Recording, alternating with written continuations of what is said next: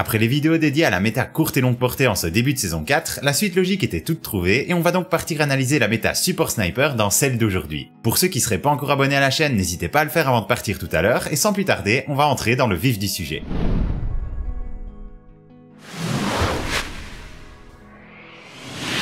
Alors, alors, alors. Pour la méta Support Sniper, on a toujours eu historiquement un peu plus de mal à la définir aussi clairement que pour les autres styles de jeu. La raison, c'est qu'ici on a la nécessité de faire des compromis avec lesquels on devait pas forcément se prendre la tête pour les méta courtes et longue portée. Je m'explique. À longue distance, on va se focaliser sur la gestion du recul en priorité et on devra aussi garder un œil sur le time to kill pour être compétitif. À courte portée, la stat reine c'est le TTK et on voudra idéalement une arme capable de se déplacer assez rapidement. C'est d'ailleurs pour ça qu'historiquement les SMG ont toujours dominé la catégorie des armes de close combat et c'est pas prêt de changer. Dans ces deux cas de figure, on n'avait pas trop besoin de faire des compromis, on cherchait avant tout l'hyper spécialisation dans un rôle donné. À titre d'exemple, pour l'hyper spécialisation, il nous viendrait jamais à l'idée de prendre un tracking avec une SMG sur un ennemi à 100 mètres de distance. A l'inverse, quand on cherche une classe pour accompagner un sniper, on doit prendre en compte le fait qu'on sera susceptible de l'utiliser entre 0 et 50 mètres de distance. Ça veut donc dire qu'on devra trouver une arme capable d'être assez mobile et réactive pour le combat rapproché, mais qui sont aussi capables d'assumer les fights à mi-distance sans trop de soucis.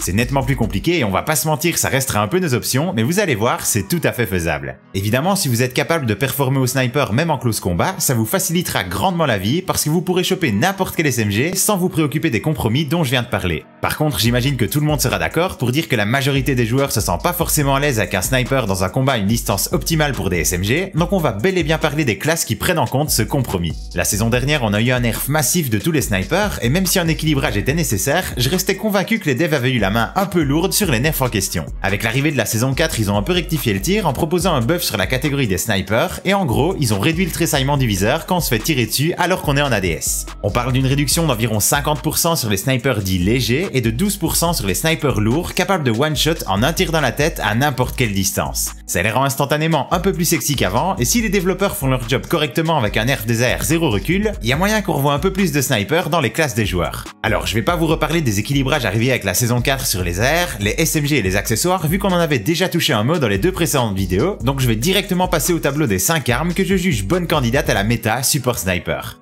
On y retrouve donc la H4, la Nikita, la Cooper, la Mac 10 et la S44. J'ai été moi-même surpris en voyant popper la Mac 10 dans le top quand je faisais mes comparatifs sur sim.gg, mais force est de constater qu'avec son récent buff, elle a toute sa place dans ce classement. En plus de ça, c'est une SMG donc on profitera d'une excellente mobilité et c'est une stat que je trouve hyper importante vu que je suis un joueur assez agressif. Pour la Cooper, la H4 et la S44, je suppose que ça choque pas grand monde vu que ces armes-là ont toujours été très efficaces dans le rôle de support sniper dès leur arrivée sur le jeu, et puis après, on a la Nikita. Première apparition pour elle dans le top 5, et là c'est comme pour la Mac 10, c'est son buff dans l'équilibrage de la saison 4 qui lui a permis de remonter dans les rangs. Vu que je pouvais pas afficher toutes les stats importantes dans le tableau en une fois histoire qu'il reste lisible, j'ai volontairement pas inclus les stats de mobilité, mais je suis allé prendre un screenshot des stats en question sur sim.gg et je vais vous les montrer maintenant. Sans surprise, on a la H4 et la Mac 10 qui se démarquent du reste étant donné que c'est des SMG, et puis derrière, on trouve la Nikita en troisième position, suivie par la Cooper et la S44 qui sont fort proches sur le plan de la mobilité. Si on prend maintenant le graphique des stats pour la mobilité pendant qu'on est en ADS, les choses changent un peu parce que la Mac 10 explose la H4 et on voit aussi que la Cooper émerge bien au-dessus des deux autres AR du classement. Je pense pas que ce soit une info qui va vous faire préférer une arme à une autre, mais à mon sens c'est quand même une stat sympa à avoir dans un coin de la tête. Notez aussi que comme d'habitude, toutes les stats que je montre dans mes vidéos sont issues des classes complètes. Je trouve que ça n'a aucun intérêt de parler des stats de base vu que personne va jouer ses armes sans accessoires, à moins de faire un défi pour créer du contenu.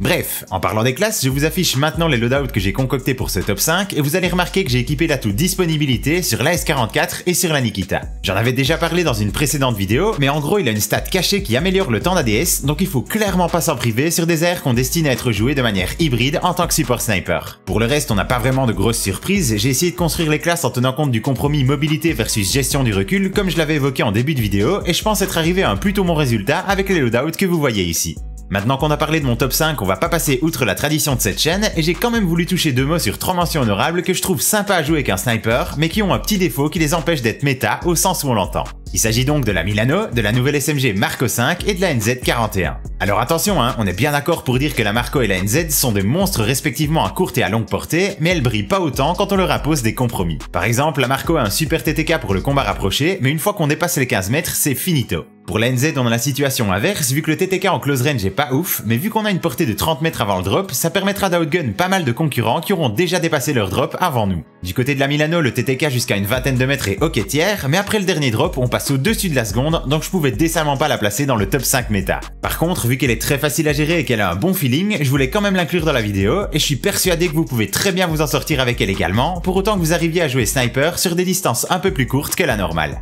On en vient maintenant aux classes pour ces trois mentions honorables, et là comme pour les armes méta juste avant, j'ai tenté de gommer tant que j'ai pu les défauts principaux grâce aux accessoires. Pour la NZ, j'ai donc réduit un peu la rigueur sur la gestion du recul au profit d'une meilleure mobilité et j'ai fait exactement l'inverse pour la Marco. La classe Milano, vous l'avez déjà vu plusieurs fois si vous suivez mes vidéos assez régulièrement, donc en ce qui la concerne, je pense pas que vous serez perturbé par ce loadout. Du coup, avec tout ça, il me reste juste à vous dire que je ferai un stream spécial Game Viewer demain matin sur Twitch, donc n'hésitez pas à passer dans le chat si vous voulez taper quelques games avec moi, ce serait super sympa. Pensez aussi à me laisser un petit like sous la vidéo si elle vous a plu, et pourquoi pas proposer vos meilleures classes support sniper dans l'espace commentaire. Moi je vous laisse là, c'était Shreds, on se retrouve très vite, et d'ici là, portez-vous bien, ciao